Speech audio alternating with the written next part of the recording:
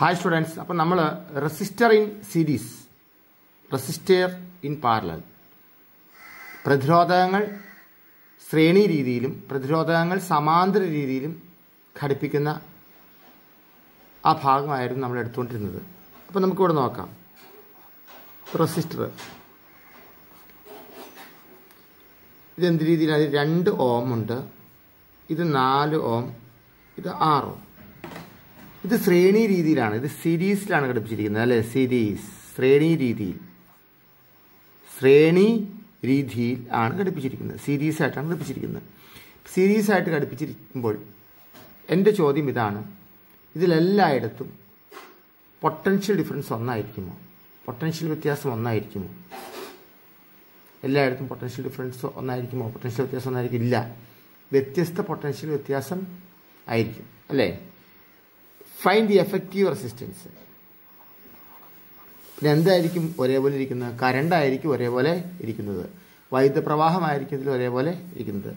Find the effective resistance effective resistance സഫല പ്രതിരോധം കാണുക. സഫല പ്രതിരോധം. പ്രതിരോധം കാണുക. സഫല പ്രതിരോധം കാണാൻ. ഇത് ശ്രേണി രീതിയിലാണ് ഘടിപ്പിച്ചിരിക്കുന്നത് അല്ലേ? ഇത് സീരീസ് ആയിട്ടാണ് ഘടിപ്പിച്ചിരിക്കുന്നത്. അപ്പോൾ സഫല പ്രതിരോധം കാണാൻ ആർ ഈക്വൽസ് നമുക്കറിയാം. R one plus R two plus R three R one plus R two plus R three that is what is R one two ohm R two four ohm R three six ohm ഇതെല്ലാം കൂടെ കൂട്ടിക്കഴിഞ്ഞാൽ സഫല പ്രതിരോധം നമുക്ക് കിട്ടും. എന്താണ് രണ്ടോം നാലോം ആറോം ആറ് നാല് പത്ത് പന്ത്രണ്ട് ആണ് സഫല പ്രതിരോധം. ഇപ്പം എന്താണ്? ഓരോ പ്രതിരോധങ്ങളും കൂടുതൽ കൂടുതൽ വരുമ്പോൾ പ്രതിരോധം കൂടി കൂടി വരുന്നു അല്ലേ? രണ്ടായിരുന്നു അപ്പോൾ രണ്ടോമായിരുന്നു നാല് ഓമായപ്പോഴത്തേക്ക് അതെന്തായി? ആയി. വീണ്ടും ആറ് ഓമും കൂടെ ചേർന്നപ്പോൾ അത് പന്ത്രണ്ട് ആയി. ഓരോ റെസിസ്റ്ററും ആഡ് ചെയ്യുമ്പോൾ എഫക്റ്റീവ് റെസിസ്റ്റൻസ് കൂടിയാണ്. ഇപ്പോൾ ഒരു റെസിസ്റ്റർ ഉള്ളെങ്കിൽ അത് ടു ഓം ആയിരിക്കും. രണ്ട് റെസിസ്റ്റർ ആകുമ്പോഴോ അതെന്തായി? അത് സിക്സ് ഓം ആവും അല്ലേ? ഈ മൂന്ന് റെസിസ്റ്ററും കൂടി ആകുമ്പോഴോ അത് ട്വൽവ് ഓം ആവും. അപ്പോൾ ഇവിടെ എന്ത് നമുക്ക് മനസ്സിലാക്കാം? സഫല പ്രതിരോധം ഓരോ റെസിസ്റ്ററും കൂടി കൂടി വരുമ്പോൾ ഓരോ പ്രതിരോധവും കൂടി കൂടി വരുമ്പോൾ പ്രതിരോധങ്ങളുടെ എണ്ണം കൂടുന്നതിനനുസരിച്ച് സഫല പ്രതിരോധവും കൂടും. ഇൻഡയറക്റ്റ് ആയിട്ട് പരീക്ഷിക്കുക തിരിച്ചു മറിച്ചൊക്കെ ചോദിക്കുക അതുകൊണ്ട് ഞാൻ ഈ പറയുന്നത്. അപ്പോൾ എഫക്റ്റീവ് റെസിസ്റ്റൻസ് അഡീഷണലായിട്ട് ഓരോ റെസിസ്റ്റ റെസിസ്റ്റൻസും ആഡ് ചെയ്യുമ്പോൾ നമ്മൾ എന്ത് ചെയ്യുന്നു? എഫക്റ്റീവ് റെസിസ്റ്റൻസ് കൂടി കൂടി വരുന്നു. അപ്പം ഇത് ശ്രേണി രീതിയിലാണ് ഘടിപ്പിച്ചത് സമാന്തര രീതിയിലാണ് നമ്മൾ ഘടിപ്പിച്ചത്. ഇനി നമുക്കിത് പാരലായിട്ട് ഘടിപ്പിച്ച് നോക്കിയാലോ? ഇത് ഇതെങ്ങനെയാണ് ഘടിപ്പിക്കേണ്ടത്? ഇത് നമുക്ക് പാരലായിട്ട് അതായത് സമാന്തര രീതിയിൽ ഘടിപ്പിക്കും ഇതിങ്ങനെ ഘടിപ്പിക്കുകയാണ് നമ്മൾ. ഇങ്ങനെ ഘടിപ്പിക്കാം സമാന്തര രീതിയിൽ ഘടിപ്പിക്കാം അപ്പോൾ ഇത് രണ്ടോം? ടു ഓം ത്രീ ഓം മൂന്നോം? ത്രീ ഓം അല്ലല്ലോ? ഫോർ ഓം അല്ലേ? Four ohm six? ഓം ഇപ്പം ഇവിടെയും സഫല പ്രതിരോധം കാണാം. ഇവിടെ സഫല പ്രതിരോധം കാണാൻ ആറെന്നല്ല വൺ ബൈ ആർ ഈക്വൽസ് അല്ലേ? One by R equals one by R one plus one by R two plus one by R three അപ്പോൾ നമുക്കറിയാം ഈ സമാന്തര രീതിയിൽ ഘടിപ്പിക്കുമ്പോൾ പാരലായിട്ട് ഘടിപ്പിക്കുമ്പോൾ സഫല പ്രതിരോധം കാണാനുള്ള formula R one equals R one plus R two plus R three അല്ല. പിന്നെയോ one by R equals one by R one plus one by R two plus one by R three one by ആറേ കിട്ടുകയുള്ളൂ നമുക്ക് ഇതിന്റെ answer ആറ് കിട്ടുകയില്ല അല്ലേ? Yes നമുക്ക് നോക്കാം. One by R one one by R one means one by R one എത്രയാണ്? രണ്ടു അമ്മാണ് അപ്പോൾ രണ്ട്. വൺ ബൈ ആർ ടു അത് എത്രയാണ്? നാല് ഓമാണ് നാല്. വൺ ബൈ ആർ ത്രീ എത്ര ഓറമാണ് ആറ് ഇങ്ങനെ വരുമ്പോൾ നിങ്ങൾക്ക് പലപ്പോഴും നിങ്ങൾക്ക് സംശയമുണ്ടാകാം. ഇതെങ്ങനെ ചെയ്യും? ഇങ്ങനെ ചെയ്യുമ്പോൾ ക്രോസ് ആയിട്ടൊന്നും ഗുണിക്കുവാൻ ക്രോസ് ആയിട്ടൊന്നും മൾട്ടിപ്ലൈ ചെയ്യാൻ നിങ്ങൾ പോയേക്കരുത് നിങ്ങൾ എൽ സി എം നോക്കണം. രണ്ടിന്റെയും നാലിന്റെ ആറിന്റെ എൽ സി എം എന്താണ് നിങ്ങൾക്ക് കാണാൻ അറിയാം. രണ്ട് നാല് ആറ്. ഇങ്ങനെ എൽ സി എം കാണാൻ പഠിച്ചിട്ടില്ലേ ചെറുപ്പത്തിലെ? യെസ് ഇങ്ങനെ കാണുന്നത് ഈ ആറാണ് വലുത്. ആറിന് നാല് കൊണ്ട് ഹരിക്കാൻ പറ്റില്ല. രണ്ട് കൊണ്ട് ഹരിക്കാൻ പറ്റും. അങ്ങനെ വന്ന ആറിനാണ് ഞാൻ ഇങ്ങനെ ചെയ്യുന്നത്. അപ്പോൾ രണ്ട്. രണ്ട് കൊണ്ട് മൂന്നിനെയും ഡിവൈഡ് ചെയ്യാം. അല്ലേ? ഈ മൂന്ന് സംഖ്യയും രണ്ട് കൊണ്ട് ഹരിക്കാം. രണ്ട് കൊണ്ട് ഹരിക്കാം. രണ്ടിലൊരു പ്രാവശ്യം. ഈ നാലിലോ? ഈ രണ്ട് നാല്. രണ്ട് പ്രാവശ്യം. ഈ ആറിലോ? മൂന്ന് രണ്ട് ആറ്. മൂന്ന് പ്രാവശ്യം. ഇനി ഏതെങ്കിലും സംഖ്യയെ പൊതുവായിട്ട് ഹരിക്കാവുന്ന മറ്റൊരു സംഖ്യ ഉണ്ടോ? കോമൺ ആയിട്ട് ഡിവൈഡ് ചെയ്യാവുന്ന മറ്റൊരു സംഖ്യ. വൺ കൊണ്ട് ഡിവൈഡ് ചെയ്യാം. അല്ലാണ്ട് വേറെ ഒന്നുകൊണ്ടും ഡിവൈഡ് ചെയ്യാൻ പറ്റില്ല. ടു കൊണ്ട് ഡിവൈഡ് ചെയ്യാം. ഈ ടൂവിനെ ഡിവൈഡ് ചെയ്യാം. പക്ഷേ ത്രീയോ വൺ കൊണ്ട് ഡിവൈഡ് ചെയ്യാൻ പറ്റില്ല. വണ്ണിന് ഡിവൈഡ് ചെയ്യാൻ പറ്റില്ല. ശരിയല്ലേ? അപ്പോൾ ഏതെങ്കിലും രണ്ടെണ്ണത്തെങ്കിലും ഉണ്ടോ കോമൺ ആയിട്ട്? മൂന്നെണ്ണത്തിനും വേണമെന്നില്ല. ഏതെങ്കിലും രണ്ടെണ്ണത്തിനുണ്ടോ രണ്ടെണ്ണത്തിന്. രണ്ടെണ്ണത്തിനെയും കോമൺ ആയിട്ട് ഡിവൈഡ് ചെയ്യാവുന്ന എന്തെങ്കിലും ഉണ്ടോ? രണ്ടും മൂന്നും. പറ്റില്ല. മൂന്നുകൊണ്ട് ഡിവൈഡ് ചെയ്യാൻ പറ്റില്ല. അപ്പോൾ രണ്ടിനെ ഡിവൈഡ് ചെയ്യാൻ പറ്റില്ല. രണ്ടുകൊണ്ട് മൂന്നിനെ ഡിവൈഡ് ചെയ്യാൻ പറ്റില്ല. അപ്പോൾ കോമൺ ആയിട്ട് ഇനി ഡിവൈഡ് ചെയ്യാനൊന്നുമില്ല. അപ്പോൾ നമ്മൾ ഇതെല്ലാം കൂടെ ഗുണിച്ച് എൽസ്യം കിട്ടും. ഇത് എൽസ്യം കിട്ടാൻ എന്ത് ചെയ്യണം? ഈ രണ്ട് ഗുണം ഈ ഒന്ന് ഗുണം ഈ രണ്ട് ഗുണം ഈ മൂന്ന്. അപ്പോൾ ഈ രണ്ട് നാല് നാ മൂന്ന് പന്ത്രണ്ടാണ് ഇതിന്റെ എൽസ്യം. എൽസ്യം കിട്ടി. ഇനിയാണ് ശ്രദ്ധിക്കേണ്ടത്. എൽസ്യം കാണുന്ന മനസ്സിലായില്ലേ? അത് ചെറിയ ക്ലാസ്സുകളിൽ നമ്മൾ പഠിച്ചിരിക്കുന്നതാണ്. എൽസ്യം കാണുന്നത് എങ്ങനെയാണെന്ന്. ലസാവ് കാണുന്നത് എങ്ങനെയാണെന്ന് നമ്മൾ പഠിച്ചാണ് ലസാവ് കണ്ട ശേഷം ലസാവ് താഴെ എഴുതുക. എൽസ്യം താഴെ എഴുതുക. ഇനി നോക്കുക. ഓരോ ഭിന്നസംഖ്യയുടെയും ഓരോ ഫ്രാക്ഷന്റെയും ഛേദം ഛേദം. ഇതിന്റെ ഛേദം എന്താണ് രണ്ട്?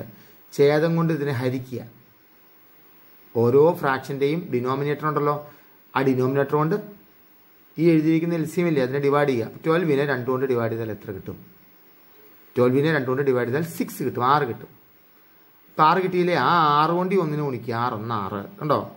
ഛേദം കൊണ്ട് ഈ പന്ത്രണ്ടിനെ ഹരിക്കുക. ഡിനോമിനേറ്റർ കൊണ്ട് ഈ ഡിവൈഡിനെ ഹരിക്കുക. കിട്ടുന്ന ആ സംഖ്യ ഉണ്ടല്ലോ ആ നമ്പർ ഉണ്ടല്ലോ അതുകൊണ്ട് ഈ ന്യൂമറേറ്ററിനെ ഈ അംശത്തെ ഗുണിക്കുക. ഈ പ്ലസ് ആയതുകൊണ്ട് പ്ലസ് ഇട്ടു. ഇനി പന്ത്രണ്ടിൽ എത്ര നാലുണ്ട്? മൂന്ന് പ്രാവശ്യം അല്ലേ? മൂന്ന് നാല് പന്ത്രണ്ട്. അപ്പം മൂന്ന് മൂന്നുണ്ട്. ആ മൂന്നിന് ഈ മുകളിലുള്ള ന്യൂമറേറ്റർ അതിന്റെ അംശം കൊണ്ട് ഗുണിക്കുക. മൂന്നിന്റെ മൂന്ന് മൂന്ന്. പ്ലസ് ഇനി പന്ത്രണ്ടിനെ ആറ് കൊണ്ട് ഹരിച്ചാൽ എത്ര കിട്ടും? രണ്ട് അല്ലേ? പന്ത്രണ്ടിനെ സിക്സ് കൊണ്ട് ഡിവൈഡ് ചെയ്യുമ്പോൾ ടു ആ ടു കൊണ്ട് വണ്ണം മൾട്ടിപ്ലൈ ചെയ്യുക. ടു ഇപ്പം എത്ര കിട്ടി? ആറ് മൂന്ന് ഒമ്പത് രണ്ട് പതിനൊന്ന് ബൈ പന്ത്രണ്ട് എന്ന് കിട്ടി. പതിനൊന്ന് ബൈ പന്ത്രണ്ട് കിട്ടി. ശരിക്കും ഈ പതിനൊന്ന് ബൈ പന്ത്രണ്ട് ആറല്ല. വൺ ബൈ ആറാണ് ഈ പതിനൊന്ന് ബൈ പന്ത്രണ്ട്. പതിനൊന്ന് ബൈ പന്ത്രണ്ട് എന്ന് പറയുന്നത് വൺ ബൈ ആറാണ് അപ്പോൾ നമുക്ക് ആറ് കിട്ടാൻ എന്ത് ചെയ്യാം? ഇതൊന്ന് മറിച്ചിട്ട്. ഇതൊന്ന് മറിച്ചിട്ട് അപ്പോൾ ഞാൻ ഇതും ഒന്ന് മറിച്ച് പതിനൊന്ന് ബൈ പന്ത്രണ്ട്. അപ്പോൾ പന്ത്രണ്ടിനെ നമുക്ക് പതിനൊന്ന് കൊണ്ട് ഹരിക്കാം. ഓർ പന്ത് പതിനൊന്ന് പതിനൊന്ന്. ശിഷ്ടം ഒന്ന് അടങ്ങില്ല. പോയിന്റ് കൊടുത്തു. പത്തിൽ അടങ്ങില്ല അപ്പോൾ പൂജ്യം കൊടുത്തു. വീണ്ടും ഒരു പൂജ്യം കൊടുത്തു. കണ്ടോ? നൂറിൽ എത്ര പ്രാവശ്യം ഉണ്ടോ? ഒമ്പത് പതിനൊന്ന് തൊണ്ണൂറ്റൊമ്പതാണ്. അപ്പോൾ ഒന്ന് പോയിന്റ് പൂജ്യം ഒമ്പത്. എത്ര ദയനീയമായ പരാജയമാണെന്ന് നോക്കിക്കേ. ഏ? ഇതെന്താണ്? റെസിസ്റ്റർ ഒരെണ്ണം ഉപയോഗിച്ച് രണ്ട് ഓം കിട്ടും. രണ്ടെണ്ണം ഉപയോഗിച്ച് നാല് ഓം കിട്ടും. ആറ് ഓം കിട്ടും. മൂന്നെണ്ണം ഉപയോഗിച്ച് പന്ത്രണ്ട് ഓം കിട്ടും. അവിടെ ഇവിടെ മൂന്നെണ്ണം കൂടെ ഒന്നിച്ച് ഉപയോഗിച്ചിട്ട് ഈ ഒരെണ്ണം ഉപയോഗിക്കുന്ന പ്രതിരോധം റെസിസ്റ്റൻസ് പോലും കിട്ടിയില്ല. വൺ പോയിന്റ് പൂജ്യം നയനാണ് കിട്ടിയേക്കണം. കണ്ടോ? പ്രതിരോധം വളരെ കുറഞ്ഞു പോയി. അപ്പം ഇങ്ങനെ ഈ സമാന്തര രീതിയിൽ ഘടിപ്പിക്കുമ്പോൾ എന്താണ്? പ്രതിരോധം കുറഞ്ഞ് പോകുന്നു. ഈ പാരലായിട്ട് ഘടിപ്പിക്കുമ്പോൾ പ്രതിരോധം കുറഞ്ഞു പോകുന്നു. പിന്നെ എന്തിനാണ് ഈ പാരലായിട്ട് ഘടിപ്പിക്കുന്നത്? ഈ പാരലായിട്ട് ഘടിപ്പിക്കുന്നത് എല്ലാ പ്രതിരോധത്തിലും ഇവിടെ ഒരു പ്രത്യേകത ഉണ്ട്. എല്ലാ പ്രതിരോധത്തിലും ഒരേ പൊട്ടൻഷ്യൽ ഡിഫറൻസ് കിട്ടുന്നു. ഇപ്പം നമ്മൾ നമ്മുടെ വീട്ടിലുള്ള സപ്ലൈയിൽ ഇരുന്നൂറ്റി മുപ്പത് വോൾട്ട് സപ്ലൈയിലാണ് ഘടിപ്പിക്കുന്നതെങ്കിൽ എല്ലാത്തിനും എന്താണ്? ഇരുന്നൂറ്റി മുപ്പത് വോൾട്ട് തന്നെ ലഭിക്കും. അല്ലേ? ഇപ്പം നമ്മുടെ വീട്ടിലെ വൈദ്യുതി ഉപകരണങ്ങളുണ്ടല്ലോ ബൾബുണ്ട് ഫാനുണ്ട് മിക്സി ഉണ്ട് അല്ലേ? ഇതെല്ലാം ഇരുന്നൂറ്റി മുപ്പത് വോൾട്ടിലാണ് വർക്ക് ചെയ്യുന്നത്. ഇതിനെയൊക്കെ പ്രതിരോധകം എന്ന് പറയാം ഇതിനെയൊക്കെ റെസിസ്റ്റൻസ് എന്ന് പറയാം. എല്ലാ വൈദ്യുത ഉപകരണങ്ങളും റെസിസ്റ്റൻസുകളാണ് പ്രതിരോധങ്ങൾ അങ്ങനെ കമ്പി വളച്ചു വെക്കണമെന്നൊന്നുമില്ല ഒരു ബൾബ് ഫിറ്റ് ചെയ്താലും മതി. അത് പ്രതിരോധമാണ് അതിന്. എല്ലാ വൈദ്യുത ഉപകരണങ്ങൾക്കും പ്രതിരോധമുണ്ട്. റെസിസ്റ്റൻസ് ഉണ്ട്. അപ്പോൾ ഉപകരണങ്ങൾ കൂടുമ്പോൾ എന്ത് സംഭവിക്കുന്നു? ആ ഉപകരണങ്ങൾ കൂടുമ്പോൾ ആ സർക്യൂട്ടിലെ പ്രതിരോധം കുറയുകയാണ് ചെയ്യുന്നത് അല്ലേ? റെസിസ്റ്റൻസ് കുറയുകയാണ് ചെയ്യുന്നത്. എന്നിട്ട് നമ്മൾ എന്തിനാണ് ഇതിങ്ങനെ ഘടിപ്പിക്കുന്നത്? ഇത് ഘടിപ്പിക്കാനുള്ള കാരണം. ഇപ്പോൾ ഈ ഇലക്ട്രോണിക്സ് ഉപകരണത്തിലൊക്കെ ആണെങ്കിൽ ഈ പ്രതിരോധങ്ങൾ ഘടിപ്പിക്കുന്നത് നമുക്കൊരു ചിലപ്പോൾ ഒരു വൺ പോയിന്റ് സെവൻ വേണം ഇതിന്റെ റെസിസ്റ്റൻസ് എന്നിരിക്കട്ടെ. അപ്പോൾ വൺ പോയിന്റ് സെവൻ എന്ന് പറയുന്നത് പോയിന്റ് സെവന്റെ ഒന്നും പ്രതിരോധം കിട്ടില്ല. അപ്പോൾ നമ്മളിങ്ങനെ പാരലായിട്ട് പലതും ഇങ്ങനെ പാരലായിട്ട് ഘടിപ്പിച്ച് ഘടിപ്പിച്ച് അത് വൺ പോയിന്റ് സെവൻ ആക്കി എടുക്കും. ഇപ്പോൾ അല്ല വൺ പോയിന്റ് സീറോ നയൻ വേണമെന്നുണ്ടെങ്കിൽ നമ്മൾ എന്ത് ചെയ്യണം? ആ ഈ മൂന്ന് ടൈപ്പ് റെസിസ്റ്റൻസുകൾ ഇങ്ങനെ ഘടിപ്പിച്ചാലാണ് വൺ പോയിന്റ് സീറോ നയൻ കിട്ടുള്ളൂ. അല്ലാണ്ട് വണ്ണ് വണ്ണിന്റെ ഒരു റെസിസ്റ്റൻസും ഒരു വേറൊരു വണ്ണിന്റെ റെസിസ്റ്റൻസ് ഘടിപ്പിച്ചാൽ ടു ആയി പോകും. വൺ പോയിന്റ് സീറോ നയൻ കിട്ടില്ല. വണ്ണിന്റെ ഘടിപ്പിച്ചാലോ വണ്ണിന്റെ ഫിറ്റ് ചെയ്താലോ വൺ ആയി പോകും. One point zero nine accurate ആയിട്ട് കിട്ടണമെങ്കിൽ നമ്മൾ എന്ത് ചെയ്യണം? ആ ഇതുപോലെ ചില കോമ്പിനേഷൻസ് നടത്തണം. പലതരം പ്രതിരോധങ്ങളുടെ ആ കോമ്പിനേഷൻസ് നടത്തണം. അപ്പോൾ എന്തിനാണ് ഇതെന്ന് മനസ്സിലായോ? ഇത് ചുമ്മാ കഥയറിയാതെ ആട്ടം കണ്ടിട്ട് കാര്യമില്ല. ഇങ്ങനെ ഘടിപ്പിക്കുന്നതിന്റെ രണ്ട് ഗുണം നമുക്ക് എന്താണോ ഡിസയറബിൾ ആയിട്ടുള്ള ആ റെസിസ്റ്റൻസ് കിട്ടും? നമുക്ക് എത്രയാണോ പ്രതിരോധം വേണ്ടേ ഇലക്ട്രോണിക്സ് ഉപകരണത്തിൽ ആ പ്രതിരോധം കിട്ടും. ഇനി വൈ നമ്മൾ വൈദ്യുത ഉപകരണങ്ങളെ പ്രതിരോധമായിട്ട് എടുത്താലോ? ഈ വൈദ്യുത ഉപകരണങ്ങളെ പ്രതിരോധമായിട്ട് എടുത്താൽ എന്താണ്? ആ ഈ പാരലായിട്ട് ഘടിപ്പിക്കുമ്പോൾ പ്രതിരോധം കുറയുന്നു. അതൊക്കെ ശരിയാണ്. പക്ഷേ വേറൊരു ഗുണമുണ്ട്. എന്താണ്? എല്ലാ ഉപകരണങ്ങൾക്കും ഒരേ പൊട്ടൻഷ്യൽ ഡിഫറൻസ് കിട്ടും. ഒരേ വോൾട്ടേജ് കറണ്ട് പലതായിരിക്കും. ശരിയാണല്ലോ ഓരോ ഉപകരണത്തിനും ഓരോ കറണ്ടല്ലേ വേണ്ടത്? എല്ലാ ഉപകരണങ്ങൾക്കും ഒരേ കറണ്ടാണ് വേണ്ടത്. വൈദ്യുത പ്രവാഹ തീവ്രത ഒന്നാണ് വേണ്ടത്. ഇന്റൻസിറ്റി ഓഫ് കറണ്ട് പറഞ്ഞാൽ ഡിഫറന്റ് ആണ് വേണ്ടത്. അപ്പോൾ എപ്പോഴും നമ്മൾ വൈദ്യുത ഉപകരണങ്ങൾ എപ്പോഴും എപ്പോഴാണ് ഈ നമ്മൾ പാരലായിട്ട് ഘടിപ്പിക്കുകയുള്ളൂ. സമാന്തരമായിട്ട് ഘടിപ്പിക്കുകയുള്ളൂ. കാരണം പ്രത്യേകം സ്വിച്ചുകൾ ഉപയോഗിച്ച് നിയന്ത്രിക്കാം. എല്ലാ ഉപകരണങ്ങൾക്കും നമുക്ക് ആവശ്യം നമ്മൾ കൊടുക്കുന്ന അതേ പൊട്ടൻഷ്യലായിട്ട് ട്വന്റി വോൾട്ട് ഒരേ പൊട്ടൻഷ്യൽ ഡിഫറൻസ് തന്നെ കിട്ടും. എല്ലാ പ്രതിരോധങ്ങൾക്കും അത് കിട്ടും. മനസ്സിലായില്ലേ? കറണ്ട് ഡിഫറന്റ് ആയിട്ട് കിട്ടുകയും ചെയ്യും. നമുക്ക് ഏത് ഉപകരണത്തിന് എത്ര കറണ്ട് വേണോ എത്ര വൈദ്യുതി വേണോ അതനുസരിച്ച് പാകത്തിന് കിട്ടുകയും ചെയ്യും. ഇപ്പം മനസ്സിലായല്ലോ? ഇനി നമുക്ക് heating effect of electricity uses ആണ്. വൈദ്യുതിയുടെ താപഫലമുണ്ട്. വൈദ്യുതിക്ക് താപഫലമുണ്ടെന്ന് അറിയാം അല്ലേ? ഒരു ചാലകത്തിൽ കൂടി വൈദ്യുതി പ്രവഹിക്കുമ്പോൾ ആ ചാലകത്തിൽ ചൂടുണ്ടാകുന്നു താപം ഉണ്ടാകുന്നു when electricity is pass through a conductor the conductor get heated അപ്പോൾ ഇങ്ങനെ ഹീറ്റ് ഉണ്ടാവുന്നു. അത് H H equals I square R T H സമം ഐ സ്ക്വയർ ആർ ടി എന്ന സമവാക്യം അനുസരിച്ച് ജോൾ നിയമം അനുസരിച്ചാണ് അതിനകത്ത് ഹീറ്റ് ഉണ്ടാവുന്നത്. അത്രയും നമ്മൾ പഠിച്ചു. നമുക്കിതുകൊണ്ട് എന്താണ് ഗുണം? ഇപ്പോൾ എല്ലാ വീടുകളിലും ഉണ്ടോ എന്ന് എനിക്കറിയില്ല. പണ്ടൊക്കെ ഉണ്ടായിരുന്നു. ഇപ്പോൾ ഇലക്ട്രിസിറ്റിക്കൊക്കെ ഭയങ്കര ചാർജ് ആയതുകൊണ്ട് ഉണ്ടാവാൻ സാധ്യതയില്ല. പണ്ട് ഇലക്ട്രിക് ഹീറ്റർ എന്ന് പറയുന്നൊരു ഉപകരണമുണ്ട്. ഇലക്ട്രിക് ഹീറ്റർ എന്ന് പറയുന്നൊരു ഉപകരണമുണ്ട്. ഈ ഹീറ്ററിൽ എന്താണ്? നമുക്കിങ്ങനെ കോയിൽ കാണാം. ഇങ്ങനെ ചുറ്റി ചുറ്റി ചുരുട്ടി. ഇങ്ങനെ ഒരു കോയിൽ കോയിൽ ഉണ്ടാവും അത്രേ ഉള്ളൂ സംഭവം. എന്നിട്ട് പ്ലഗ് ഉണ്ടാവും. സ്വിച്ച് ഓൺ ചെയ്യുമ്പോൾ കോയിൽ ചുട്ട് പഴുക്കും. ഇതിന്റെ മുകളിൽ വെള്ളമൊക്കെ വയ്ക്കാം പ്രത്യേകം ശ്രദ്ധിക്കേണ്ടത് ഓഫ് ചെയ്തിട്ട് ഓൺ ചെയ്തിട്ടാണ് ഇത് നമ്മൾ വെള്ളമൊക്കെ അടുപ്പത്ത് വെക്കാവുള്ളൂ. അല്ലെങ്കിൽ ഷോക്ക് ഏൽക്കാൻ സാധ്യതയുണ്ട്. ഈ കോയിലുമായിട്ട് പാത്രം ടച്ച് ചെയ്താൽ ഷോക്ക് ഏൽക്കാൻ സാധ്യതയുണ്ട്. അപകടം കൂടിയ ഒരു സാധനമാണിത്. ഇതാണ് ഹീറ്റർ എന്ന് പറയും. പിന്നെ ചായ കാപ്പിയൊക്കെ തിളപ്പിക്കണമെങ്കിൽ ഇപ്പോൾ ചായ ആണെങ്കിൽ അല്പം വെള്ളം എടുക്കുക. എന്നിട്ടോ ഇമേഴ്സിങ് ഹീറ്റർ എന്ന് പറയുന്ന ഹീറ്ററാണ് ഒരു കോയിലാണ് അത് ചുമ്മാ മുക്കി വെച്ചാൽ കുറേ കഴിയുമ്പോൾ തിളയ്ക്കും. വിരലിട്ട് തിളച്ചൊന്നും നോക്കരുത് കേട്ടോ അത് വേറെ കാര്യം. ഇങ്ങനെ ഒരു രണ്ട് രണ്ട് കോയിലുണ്ടാവും അതിനകത്ത്. ഇതൊക്കെ വൈദ്യുതിയുടെ താപഫലമാണ്. ഇതൊക്കെ എന്തുകൊണ്ടാണ് പ്രവർത്തിക്കുന്നത് എങ്ങനെ വൈദ്യുതി കടന്നു പോകുമ്പോൾ ഈ കോയിൽ ചൂടാവും. കോയിൽ ചൂടാകുമ്പോൾ ആ കോയിലുമായി ബന്ധപ്പെട്ട പാത്രമാണെങ്കിൽ പാത്രം ചൂടാവും. ആ കോയിലുമായി ബന്ധപ്പെട്ട വെള്ളമാണെങ്കിൽ ആ വെള്ളം ചൂടാവും. അതാണ് ഇലക്ട്രിക് ഹീറ്ററിന്റെ പ്രിൻസിപ്പൽ ഇലക്ട്രിക് ഹീറ്ററിന്റെ തത്വം എന്ന് പറയുന്നത് ഈ ഇലക്ട്രിക് ഹീറ്ററിന്റെ പ്രധാന ഭാഗം എന്ന് പറയുന്നത് ഒരു കോയിലാണ്. ഹീറ്റിംഗ് കോയിൽ എന്താന്ന് പറയും? ഹീറ്റിംഗ് കോയിൽ എന്ന് പറയും. ഹീറ്റിംഗ് കോയിൽ ഹീറ്റിംഗ് കോയിൽ എന്നാണ് അതിന്റെ പേര്. ഈ കോയിലിന്റെ പേര്. ഈ ഹീറ്റിംഗ് കോയിൽ സാധാരണ നിക്രോം. എന്താണ്? നിക്രോം. ഈ നിക്രോമിൽ എന്തൊക്കെയുണ്ട്? നിക്കൽ. അല്ലേ? നിക്കലുണ്ട്. പിന്നെ ക്രോമിയം. ക്രോമിയം ഉണ്ട് ക്രോമിയം. ക്രോമിയം ഉണ്ട് പിന്നെ അയൺ. അത് നിക്രോം. നിക്കല കോ ക്രോമിയം അയൺ. ഈ മൂന്ന് ലോഹങ്ങളുടെ ഒരു സങ്കരമാണ് ലോഹ സങ്കരമാണ് നിക്രോം എന്ന് പറയുന്ന coil nichrome is an alloy of nickel chromium and iron ഈ അലോയി ഉപയോഗിക്കാനുള്ള കാരണം എന്തായിരിക്കും? അലോയിക്ക് റെസിസ്റ്റൻസ് പ്രതിരോധം കൂടുതൽ കിട്ടുന്നു. പിന്നെന്താണ്? ഇത് പെട്ടെന്ന് ഉരുക്കി ഉരുക്കിയൊന്നും പോവുക ഇല്ല. അതാണ് അലോയി ഉപയോഗിക്കുന്നത്. നല്ല ചുട്ടുപഴുത്ത് നിൽക്കുകയും ചെയ്യും. നിക്രോമിന്.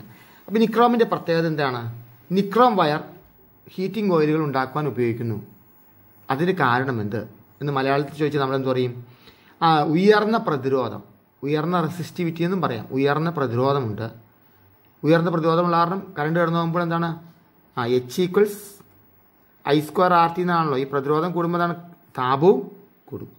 ഹൈ മെൽറ്റിംഗ് പോയിന്റ് ആ നല്ല ചൂടായി കഴിയുമ്പോൾ ഇത് ഉരുക്കിയിട്ട് കാര്യമുണ്ടോ? ഇല്ല.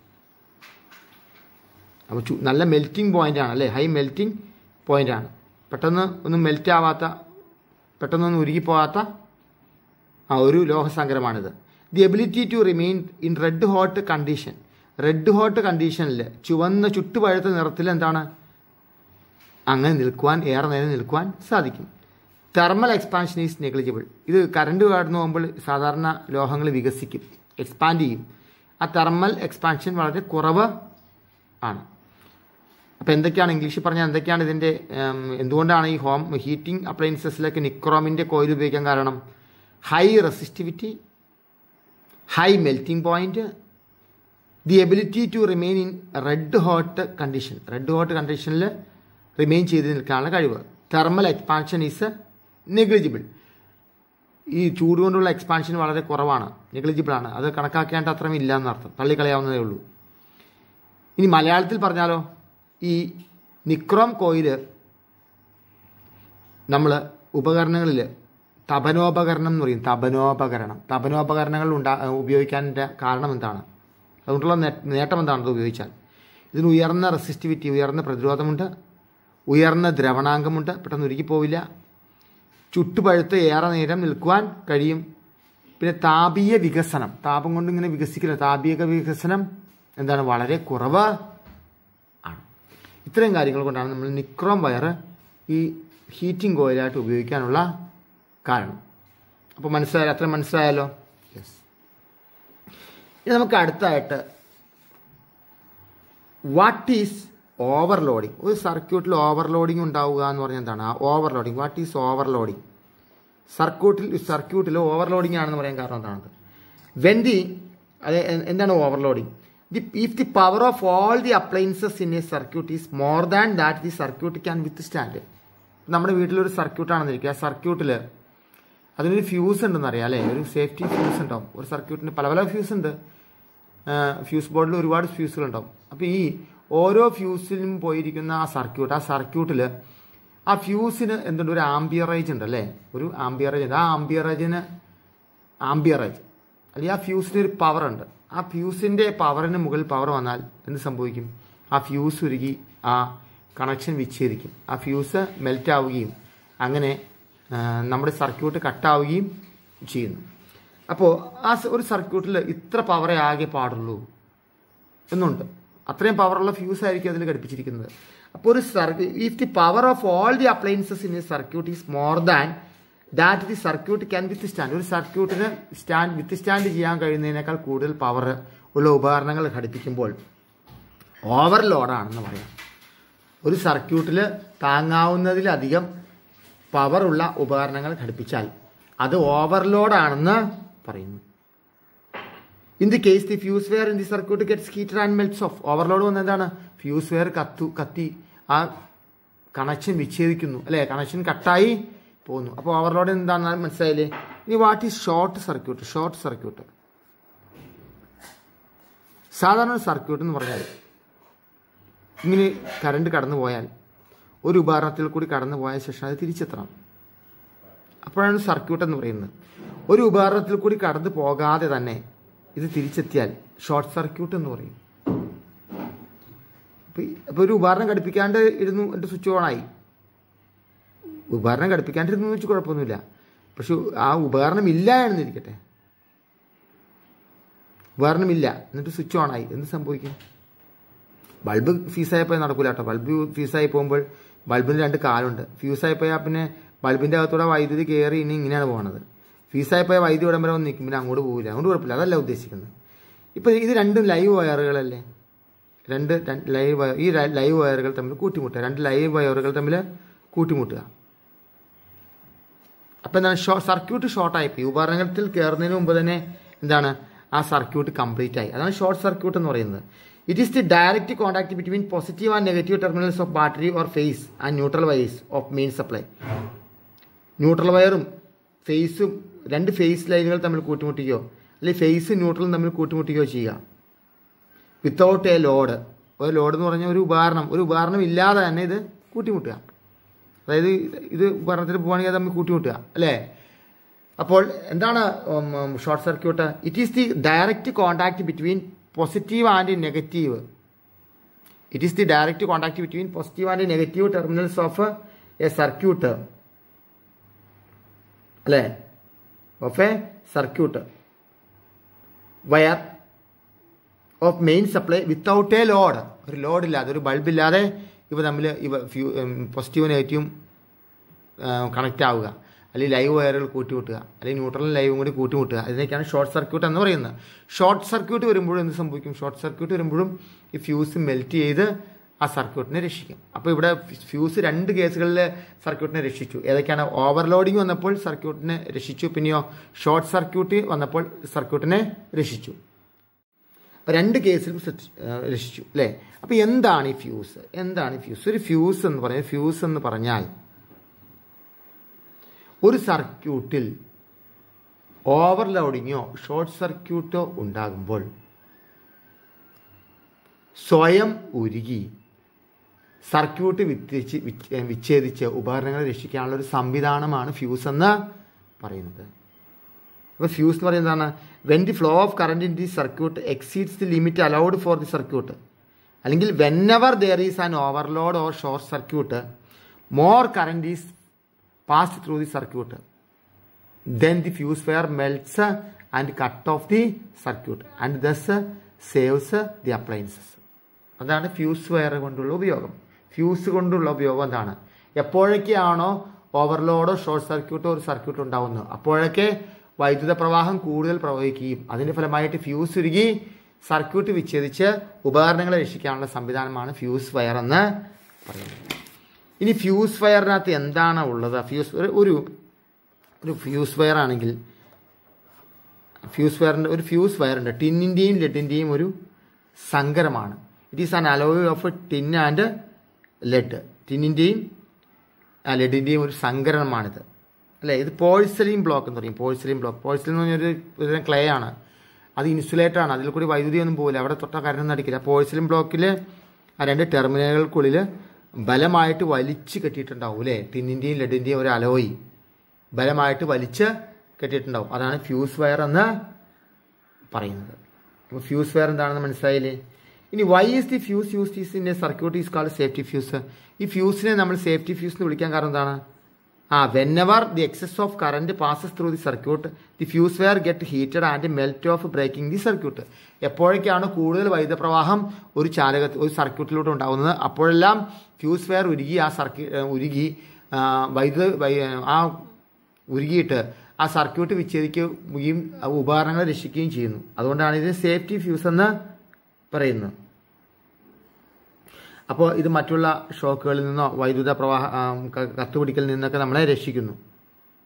അല്ലേ? അപ്പം അതാണ് ഫ്യൂസുമായിട്ട് ബന്ധപ്പെട്ട കാര്യം. വൈദ്യുത ഫ്യൂസ് വളരെ ഇമ്പോർട്ടന്റ് ആണ്. എന്താണ് വൈദ്യുത ഫ്യൂസ്? വൈദ്യുത ഫ്യൂസ് എന്ന് പറയുന്നത് ടിന്നിന്റെയും ലെഡിന്റെയും ഒരു ലോകസങ്കരമാണ് it is an alloy of tin and lead ഇതിന്റെ മെൽറ്റിംഗ് പോയിന്റ് വളരെ കുറവായിരിക്കും അല്ലേ? ദ്രവണാങ്കം വളരെ കുറവായിരിക്കും. പെട്ടെന്ന് ഉരുക്കും ചെറിയ ചൂട് കട്ടിയത് കഴിഞ്ഞാൽ ഉരുകും. അപ്പോൾ ഓവർലോഡോ ഷോർട്ട് സർക്യൂട്ടോ ഉണ്ടാകുമ്പോൾ എന്താണ്? ഇതിലൂടെ കൂടുതൽ കറണ്ട് പ്രവഹിക്കുന്നു. കൂടുതൽ വൈദ്യുത പ്രവാഹം ഉണ്ടാവുകയും ഇത് ഉരുകി ഇത് ചൂടായിട്ട് ഉരുകി ആ സർക്യൂട്ട് വിച്ഛേദിച്ച് ഉപകരണങ്ങളെ രക്ഷിക്കുകയും ചെയ്യുന്ന സംവിധാനം ഫ്യൂസ് ഫെയർ അപ്പോൾ ഫോഴ്സലിൻ ബ്ലോക്കിനകത്ത് രണ്ട് ടെർമിനലുകൾക്കുള്ളിൽ വലിച്ചു കെട്ടിയിരിക്കുന്ന ഒരു ടിന്നിന്റെയും ലെഡിന്റെയും സങ്കരമായ ഒരു നേർത്ത കമ്പിയാണ് ഫ്യൂസ് ഫെയർ എന്ന് പറയുന്നത്. അപ്പോൾ ഇത്രയും കാര്യങ്ങൾ നിങ്ങൾ ശരിക്കും മനസ്സിലാക്കി പഠിക്കുക ഓക്കെ